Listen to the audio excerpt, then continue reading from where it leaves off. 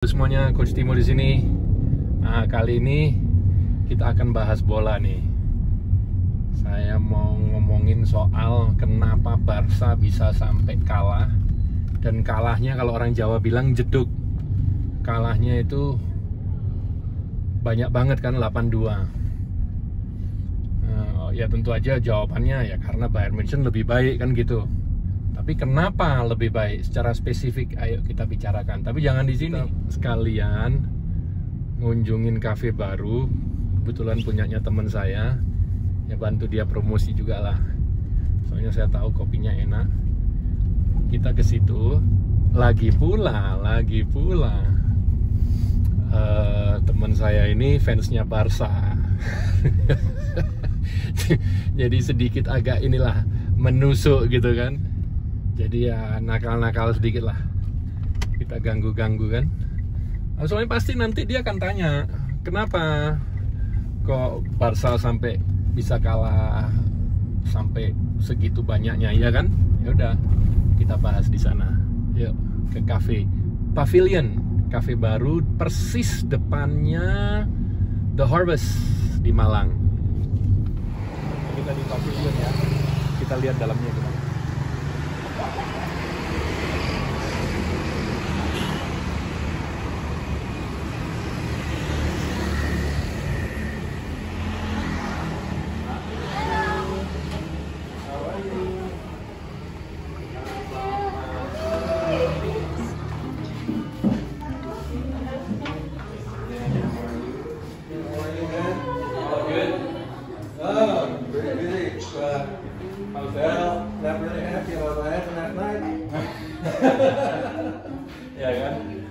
Barca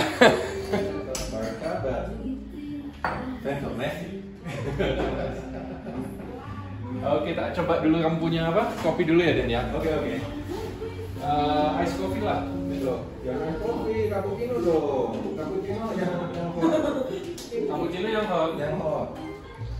Eh, kamu mau apa nih Aku ice coffee aja. Oke, ice coffee ya. Iya sama. Aku juga pengen ice coffee. Cobaan lah, percaya aku lah. oh gitu. Lah Ayo. ya wes ice coffee-nya satu. Ya wes aku katanya ice coffee lo saja nih tapi ya ya wes ice coffee satu. Sama Nanti kalau kamu cappuccino panas satu Iya, nanti kalau kamu nggak suka sendok, cappuccino-nya, nanti pasti kamu naik coffee free. oh iya masa Kenapa?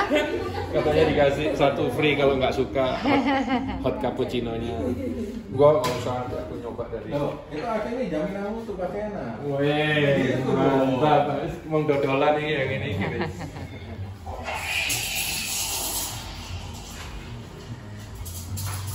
Ini syuting nih. Ya, masukin YouTube.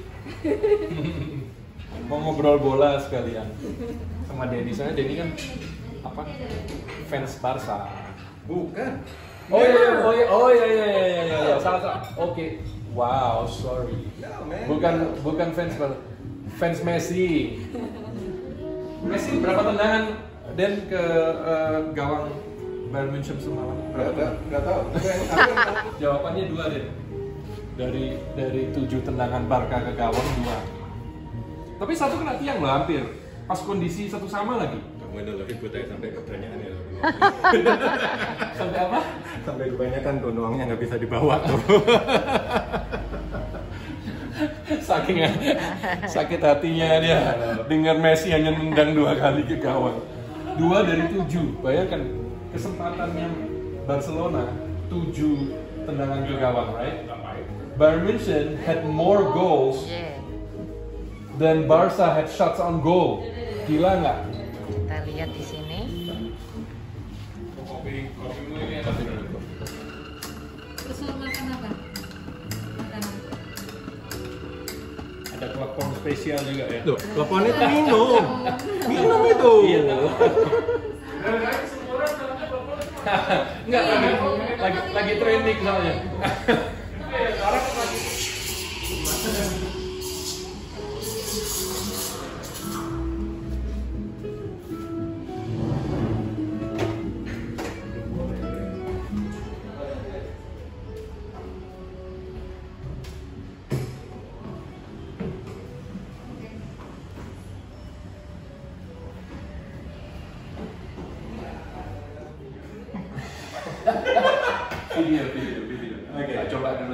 ya. Iya.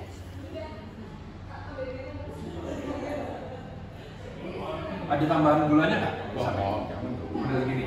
Gitu. Manisnya itu dari susunya. Hmm. Good, good, good, good. Cuma aku belum tambah gula dikit lah. Oke. Apa yang kayak sirup gitu ya? Oke. Bisa dikasih sirup ya? Mantap. Ini kopi apa ya? Arabica. Arabica. Arabica aku bikin blendku sendiri. Oh kamu bikin Iya, aku sendiri? bikin blend sendiri. Kerasa kopinya kerasa. Oh iya dong. Tapi aku terus terang paling suka ice cup, uh, ice cup. Nanti bisa rasa punyanya di situ. Iya. Nah, ini kenapa aku ngotot aku suruh kamu pakai itu? Karena kalau kayak kayak gini kamu bisa betul-betul rasa quality kopinya. Nggak ada aditif yang lain, nggak ada aditif gula, nggak ada itu. Dan Hmm, iya iya. temperatur susu yang paling bagus untuk dia mengeluarkan taste-nya kopi itu segini. Ya gini memang lebih rasa kopinya lebih rasa, lebih kerasa ya. dan kamu kalau kamu memang biasa minum kopi itu kamu bisa rasa ada rasa coklatnya, ada rasa karamelnya, ada Iya. rasa spice-nya, Ada spice-nya. Heeh, itu ada semua kayak gitu. Nah, itu itu Itu kalau di ice nggak keluar ya. itu nggak nggak keluar. Enak ya? Kita ice, aku aku minta sedikit loh. Thank you, dikasih french fries. Bukan dikasih ya, kita bayar. Mas Mas Yo Konco, bisnis bisnis. Berhubung. Komentarmu apa? French fries-nya enak. Nah, terus kenapa? Belajarlah dari istri kenapa? Semuanya positif, baik semuanya. Oh iya. Lah iya bojoku ngono aja. Jadi kenapa itu bisa sampai kalah banyak itu Barcelona? Ya, kan kalau orang jawabnya ya, orang jawabnya itu kan biasanya ya karena memang Bayern Munchen jauh lebih baik gitu kan. Cuman jauh lebih baiknya itu di secara spesifik apa gitu ya. Pak kasih berapa poin? Satu poin. Pertama, poin pertama. Yang paling men- menyolok kelihatan itu fisik.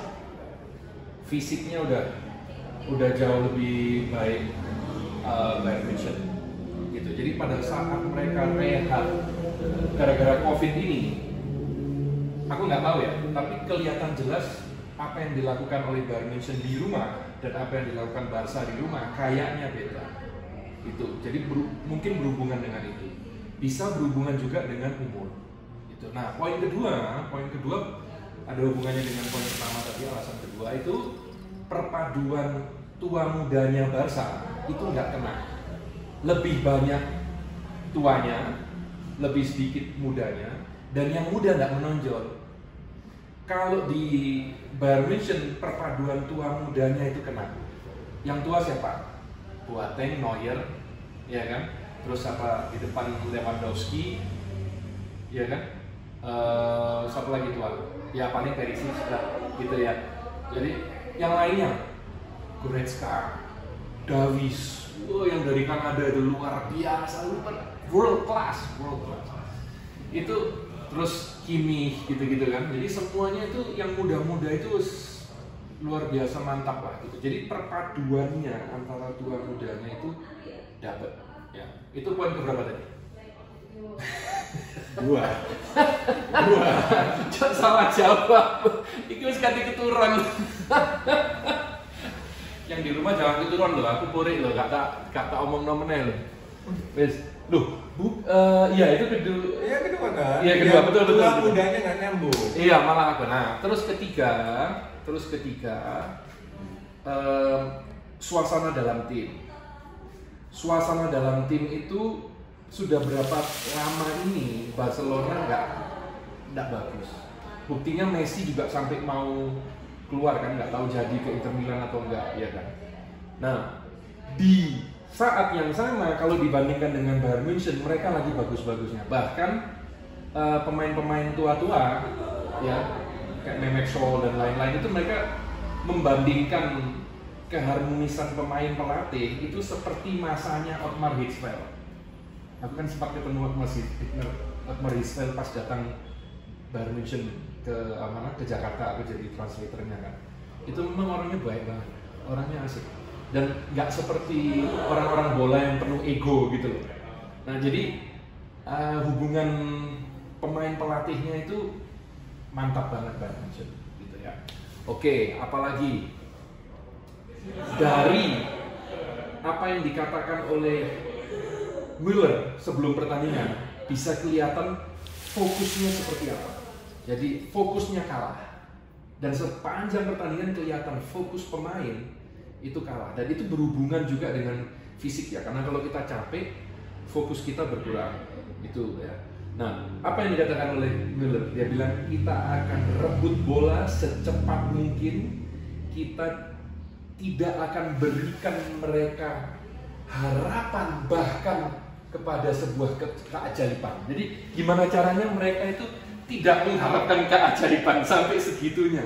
Jadi dari situ kelihatan bahwa Müller itu apa namanya uh, fokus banget gitu gitu. Jadi uh, dari fokusnya itu kelihatan um, lebih mantap Bayern München dibandingkan dengan apa yang dibilang oleh Vidal. Vidal ngomong, ah Bayern München, oke okay, dia bisa cetak gol berapa? 31 gol di grup Champions League mereka juara, DFB Pokal mereka juara uh, Liga Bundesliga ya kan? Tapi Barcelona bukan tim Bundesliga dia bilang. Nah itu itu mengecewakan buat saya dari awal dari ketok ini masalah ya. Karena apa? Dia pemain yang pernah bermain di Bayern Munchen Bundesliga. Jadi seharusnya tahu kualitasnya. Jadi seharusnya dia mengingatkan teman-temannya gitu loh.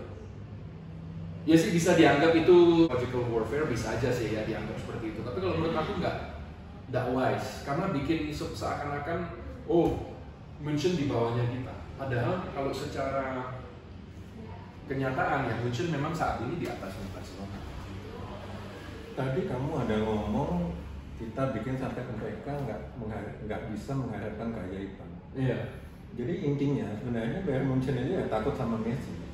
Karena keajaibannya itu kan Messi. Oh iya betul, betul. Jadi jadi kalau gitu ya Messi still the best. ini fansnya Messi memang. ya wis, uh, apalagi saya sebentar, saya cut cut sebentar. Oke, nah kelima dari segi kecepatan pemainnya Bayern Munchen memang jauh. Apalagi back four-nya, kewalahan banget sama kecepatannya si uh, Bayern Munchen. Ya itu. Keenam, pressing lo banyak. Oke, okay, bangku terus aku. Berapa nih sekarang? Sampai hilang konsentrasi. Enam. Kenam. Enam, ya wes. Aku dengarkan. Aku dengarkan. Ngeten pun. Oke. Jadi keenam faktor pressing. Pressingnya uh, Bayern Munchen luar biasa. Ya, pressingnya luar biasa. Nah, uh, ditambah lagi Ter Stegen pada saat dia terima bola, tahu pressingnya Bayern Munchen bagus, dia sering kasih umpan-umpan distribusi yang salah, sehingga bolanya kembali lagi ke Bayern Munchen, Barcelona tertekan lagi gitu loh. Jadi karena bola gampang direbut, cepat direbut kembali, persis seperti apa yang diinginkan Müller tadi kan.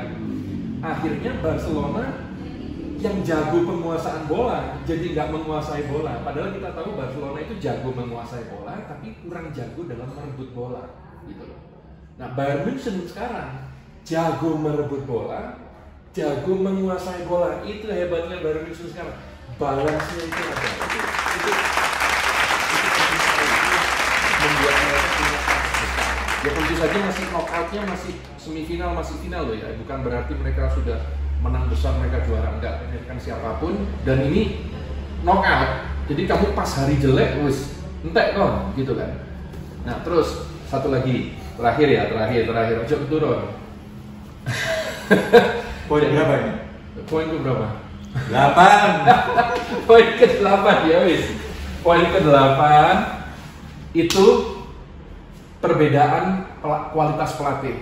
Aku biasanya tidak pernah kritik pelatih, tapi kali ini aku harus kritik karena Bayern Munchen kemarin bukan tanpa kekurangan. Mereka babak pertama terutama terlalu tinggi sehingga walaupun back four-nya itu cepat, ini daerah di belakangnya di belakangnya back four-nya Bayern Munchen itu uh, besar sekali harusnya secara taktis pelatih itu kan harusnya melakukan apa pun yang bisa dia lakukan gitu. Nah, aku nggak ngelihat itu.